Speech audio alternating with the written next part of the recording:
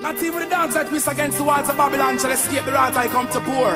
And I shall burn them and burn them continuously, for they never cease to oppress the poor. Not even the dogs that twist against the walls of Babylon shall escape the wrath I come to pour. And I shall burn them and burn them continuously, for